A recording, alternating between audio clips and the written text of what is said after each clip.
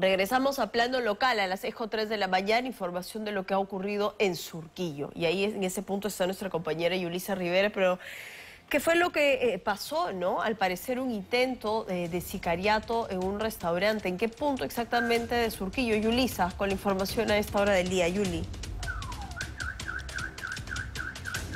Claudia Pamela, ¿cómo están? Muy buenos días. Bueno, informar también a todos nuestros televidentes que este incidente ocurrió en la calle Salaberry y las víctimas no eran el objetivo de estos eh, sujetos que finalmente resultaron heridas. Vamos a contarles exactamente bien qué fue lo que ocurrió. Según lo que han comentado algunos testigos, pues el objetivo de estos sicarios estaba a pie, caminando por la calle Salaberry, hasta que fue abordada esta persona por dos sicarios que estaban en una motocicleta. Vamos a mostrarles cómo es la calle para que ustedes vean por dónde corrió todo este, este sujeto, ¿no? Pues toda esta calle corrió este sujeto que era el objetivo de los sicarios y lo que comentaron los vecinos es que en medio de este correteo, estos sujetos realizaron disparos.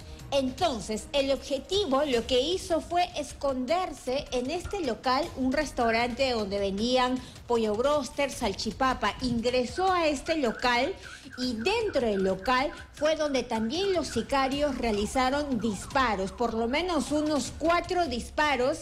Y en medio de todo esto es que la trabajadora de este local resultó herida y uno de los clientes finalmente el objetivo de estos delincuentes terminó huyendo y los sicarios también huyeron en una motocicleta. Lo que sabemos hasta el momento es que la trabajadora tiene un impacto de bala a la altura del estómago y el cliente también tiene un impacto de bala en el brazo izquierdo. Ellos fueron llevados hacia el, hospital Casimiro Ulloa, donde aún continúan las investigaciones, porque hay que mencionar que aquí hay cámaras de seguridad por parte de la municipalidad y también de los negocios. Así que probablemente estas cámaras han captado cuando los delincuentes seguían a esta persona y cuando ingresó a este local y finalmente huyeron.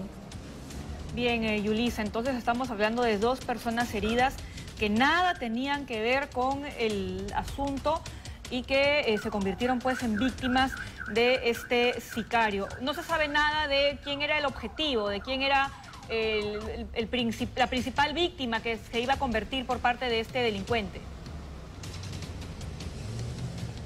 Esta persona también huyó, pero los testigos han mencionado que los delincuentes eran al parecer ciudadanos venezolanos porque en algún momento de este seguimiento y cuando ingresan al local estos sujetos eh, lanzaron algunas palabras y por ello es que los testigos pueden reconocer el dejo. El, ajá, el acento.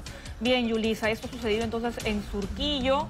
Eh, vamos a estar pendientes entonces del resultado de las investigaciones. A las 6 con 6 eh, tenemos que continuar con más a esta hora de la mañana. Bueno, no sin antes recordarles que tenemos siempre una manera de estar en contacto con ustedes, que es nuestro número de WhatsApp que está permanentemente en pantalla, el 981-349-940. Vamos con más.